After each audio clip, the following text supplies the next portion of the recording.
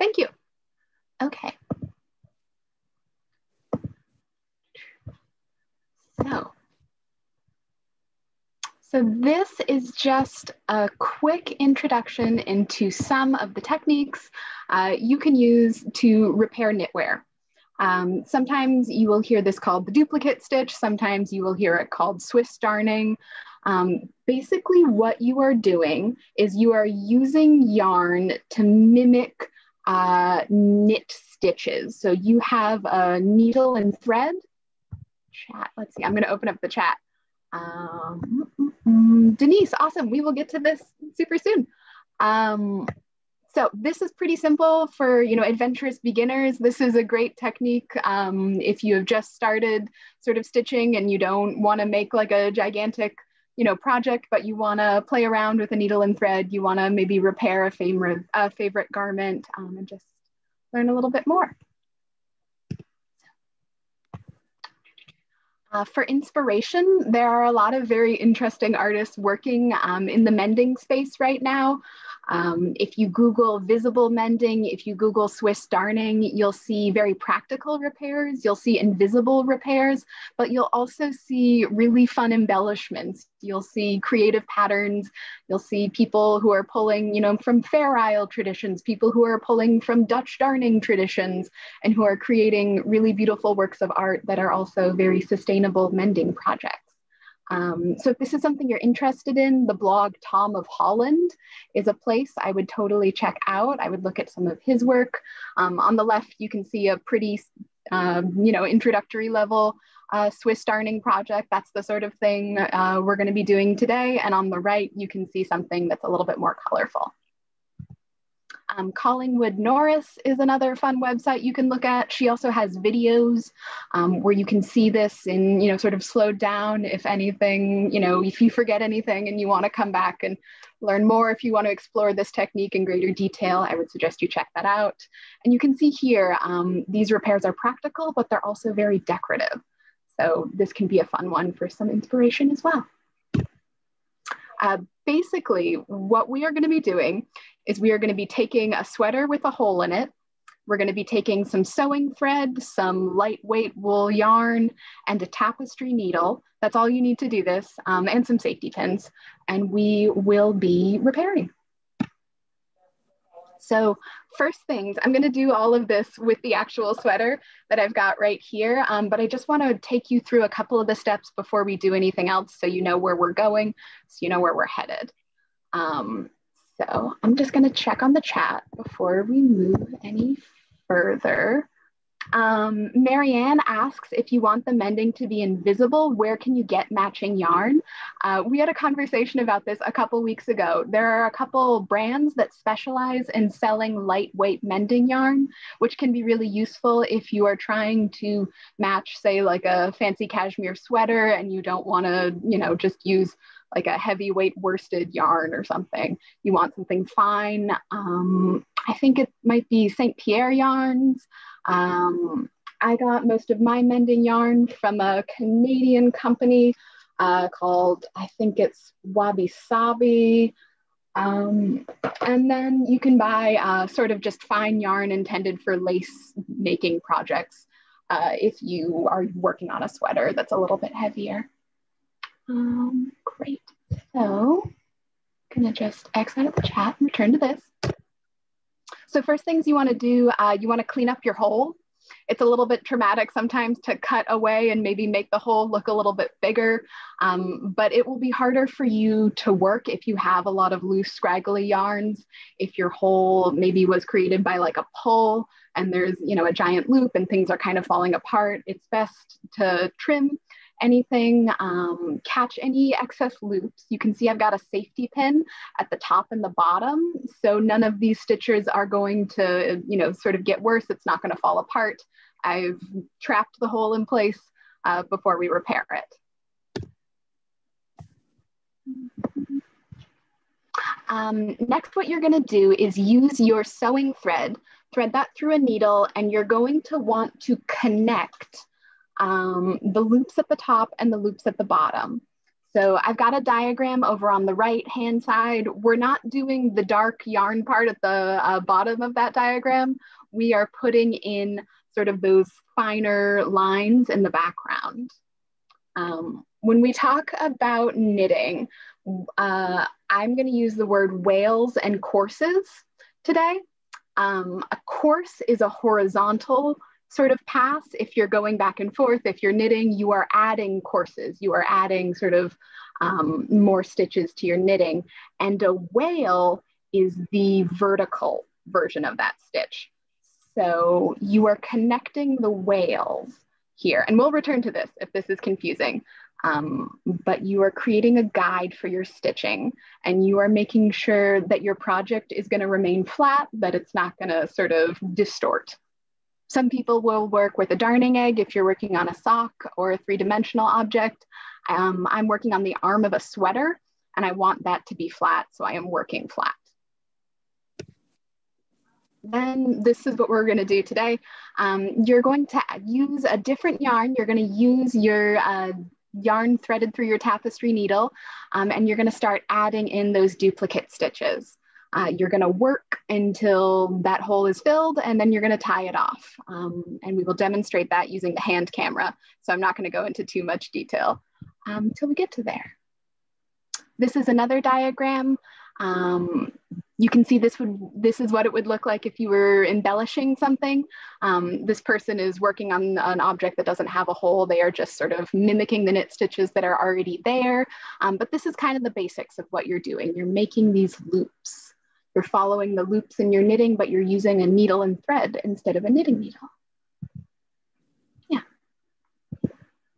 So, and you can also use this to connect um, you know, raw edges of knitting projects you've made or rips and knits. Um, but today we're gonna talk about holes. So I am going to exit out of this and stop sharing my screen. And Nina, could you now spotlight the hand cam?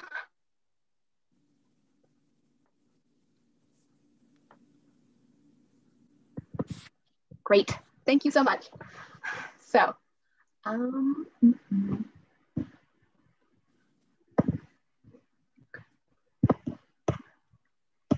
great.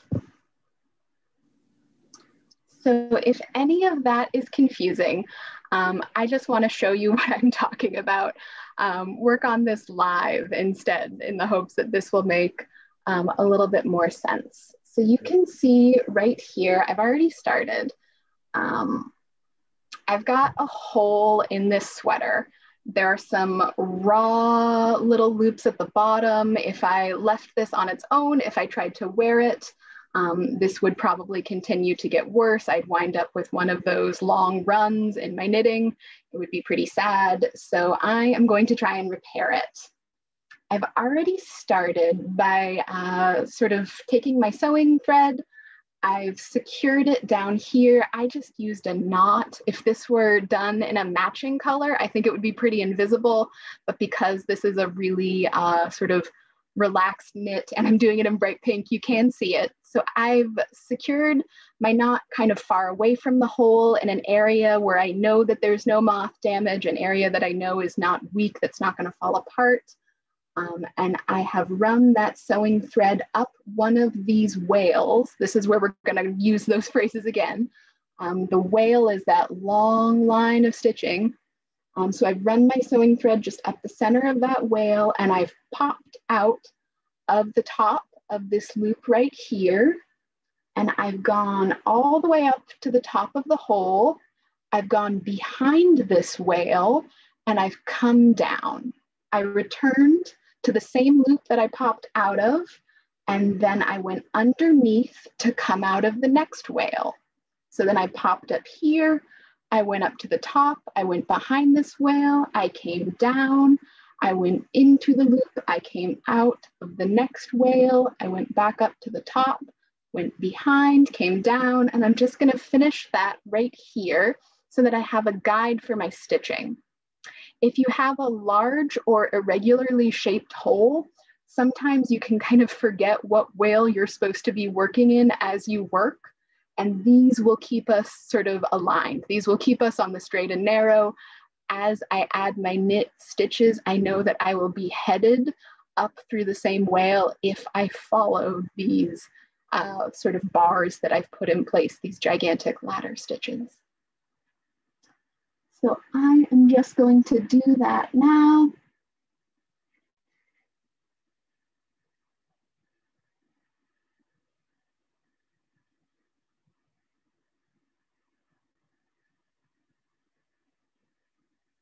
I'm going back down into the center of this wale, this loop. I'm coming up in the next loop.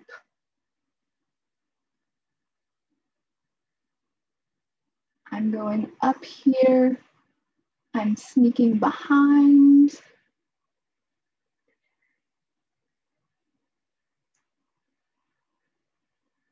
And then I'm gonna come back down here.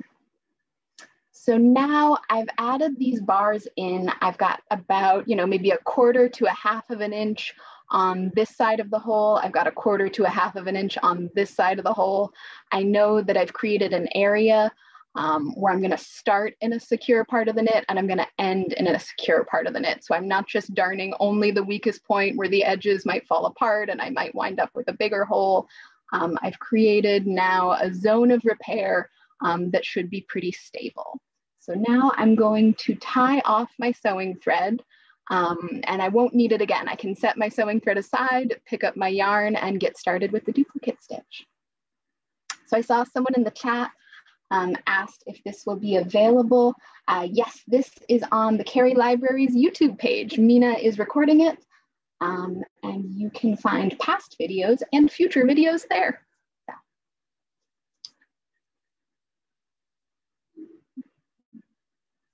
So I'm just gonna make a couple stitches right here.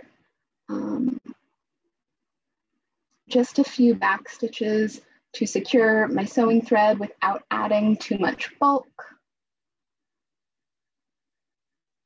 And then I'm just gonna tuck my tail by stitching down kind of directly um, into this.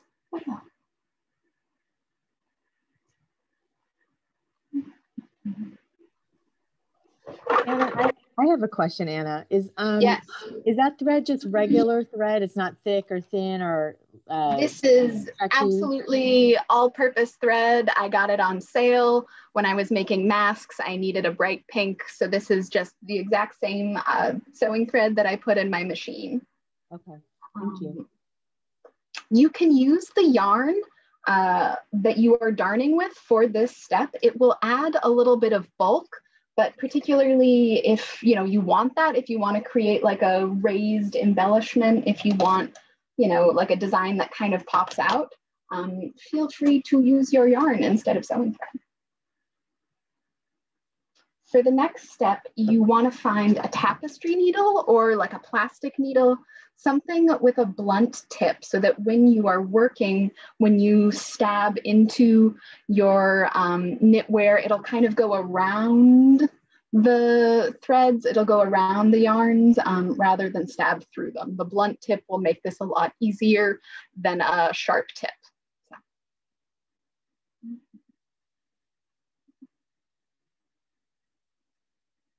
And this is some fine wool embroidery yarn. I bought this online. I've also bought it on Etsy before, just searching for lightweight mending yarn, uh, lightweight embroidery yarn. Um, it's not particularly fancy, uh, but it is a fun color. So I'm going to use this in the hopes that you'll be able to see it. But if you can't, um, feel free to ask questions. So what I am doing here um, I'm gonna start again far away from the hole. If I had moth damage, I would just want to assume that the area around the hole was pretty fragile.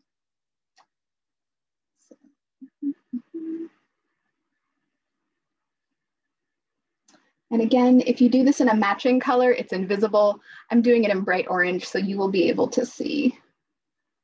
I am just gonna tuck my tail and I'm going to pop up in the middle of this knit stitch. You can see my needle is coming out of the center of this loop at the bottom here.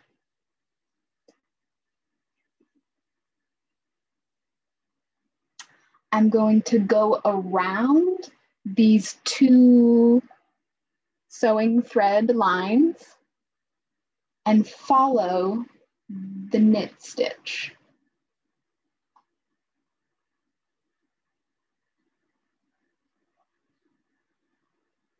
I'm creating a stitch that's about the same size and I'm gonna go back down into the same loop where I came out and then pop out of the next stitch.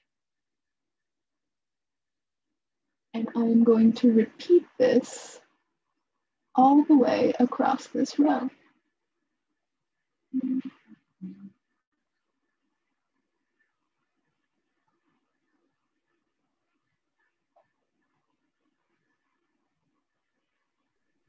So Caroline says that she purchased some fine wool yarning, darning yarn locally a few months ago at the store Another Yarn in Burlington.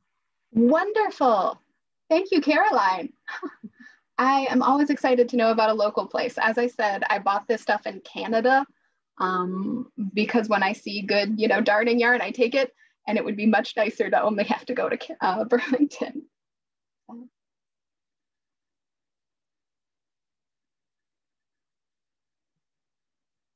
So I'm trying to keep loose tension. Um, you can see this is a pretty large gauge knit. Um, so these stitches are pretty loose.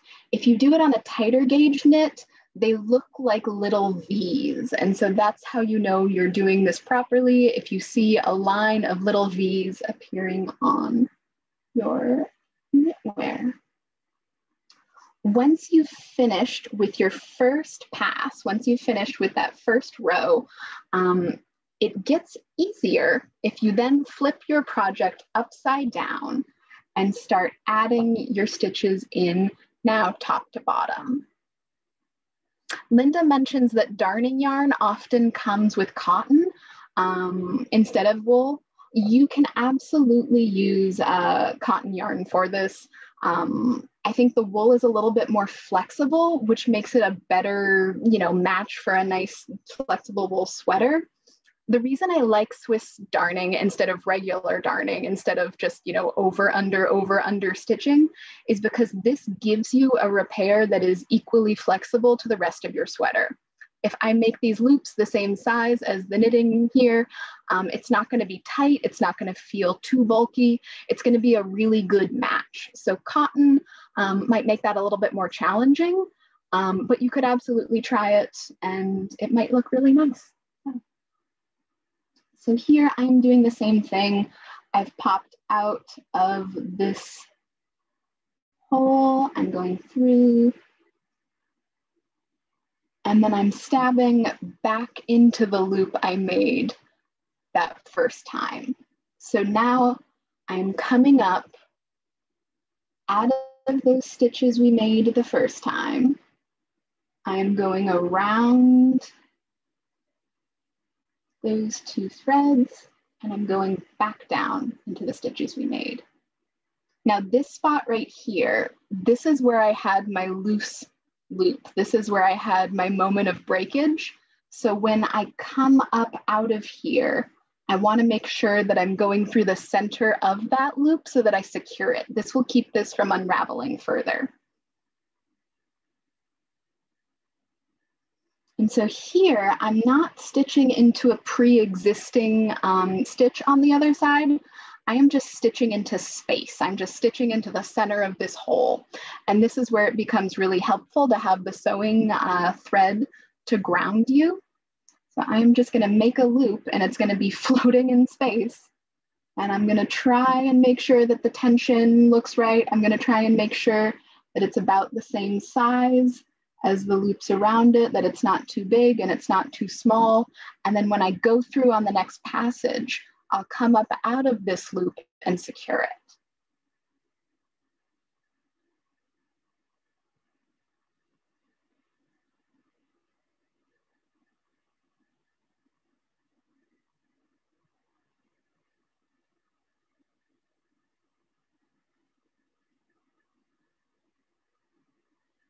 So when you go from run uh, from one row to the next, you stab down into that loop and then you come up in the same wale. You come up very vertically and just pop out of the top.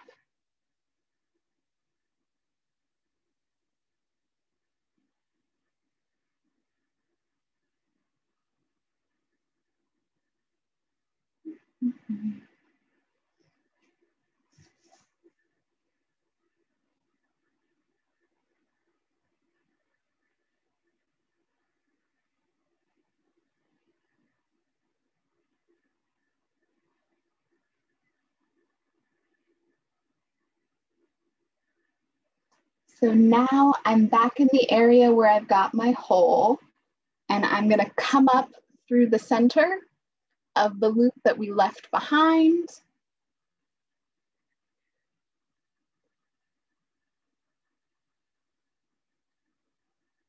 And this will secure that.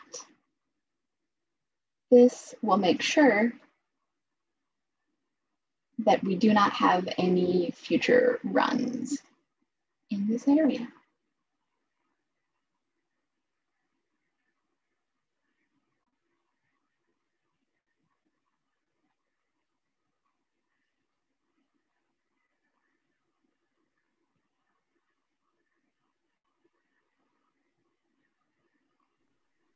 And I think you're like sort of way at the end of your phone. Oh, there, sorry. Yeah, after what is it eight months on zoom we're all a little bit blind so i'm trying to move it closer to me but that means further away from you um, so now that i've secured those loops i'm going to remove my safety pins also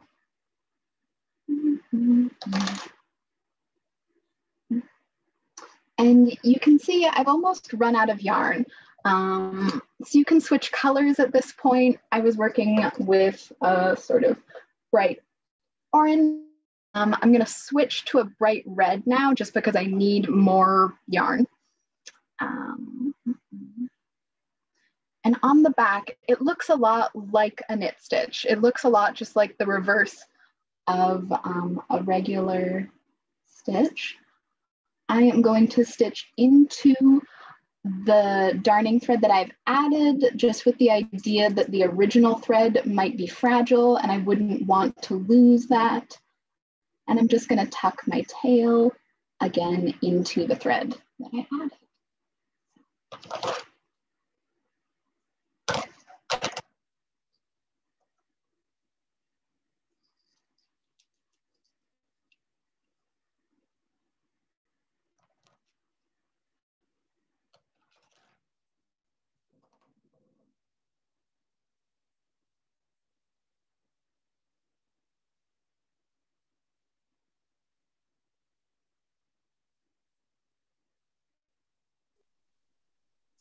So by tying off my thread, I've left myself with a little zone here where I've got a lot of yarn.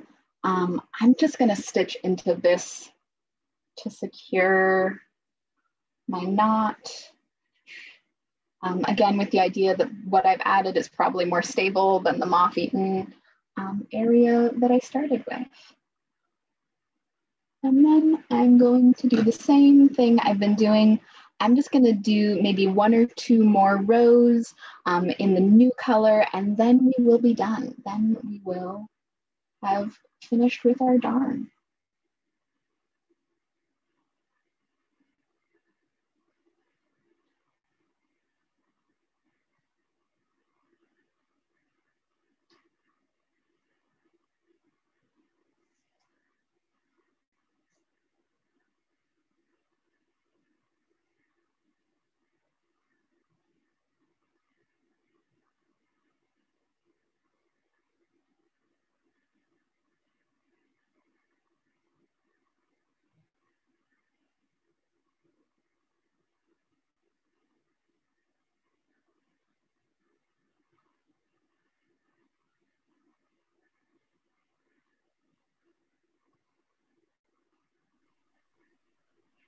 Anybody have any questions while Anna Rose? Um, oh. Here, I'll just say, if you find you have pulled too tight, I just made a stitch where I pulled a little bit too tight. You can use your nice blunt tapestry needle, kind of go back in there, adjust your tension, um, mess around with it however you see fit.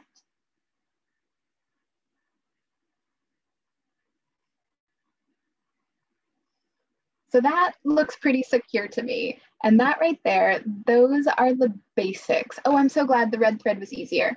Um, I'm gonna do one more pass with it then in the hopes that you can see the contrast. It's a little bit finer. Um, doo -doo -doo.